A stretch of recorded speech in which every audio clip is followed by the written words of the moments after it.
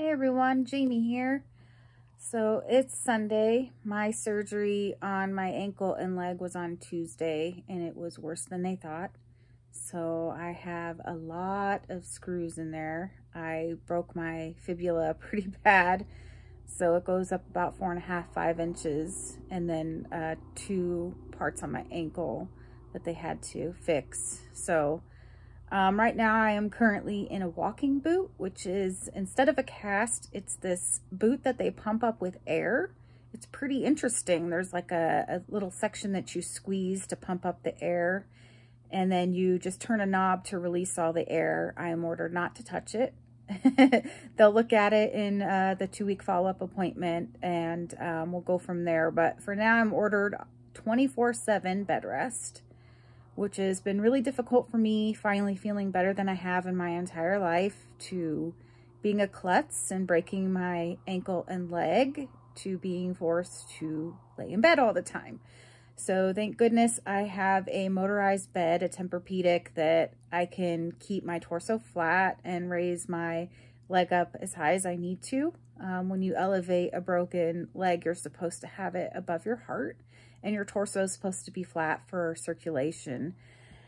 So I am stuck in bed. It's been very difficult. Um, I have to wash my hair in the kitchen sink and that's, it just really drains me. It takes a lot of energy to do that. So I'm just washing my hair when I absolutely have to.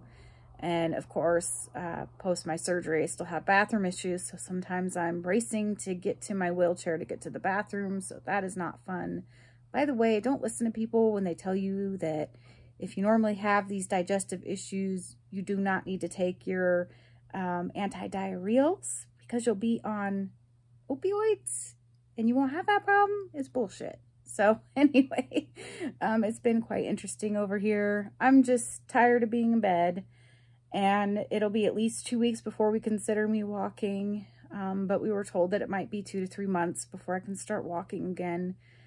And um, yesterday was the worst day of my life. I've never been depressed like that. And um, it's a combination of the meds and what I'm going through.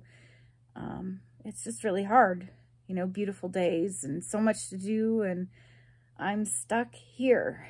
And at the same time, I am not treating my cancer because we aren't really sure if it's safe to resume that right now on top of me needing to stay in bed. So that's pretty scary knowing that it's just doing its thing in there and hopefully uh, the last dose of immunotherapy is still kicking butt. So uh, yeah, I'm just freaking out and I'm not doing too well, um, but I'll get through it.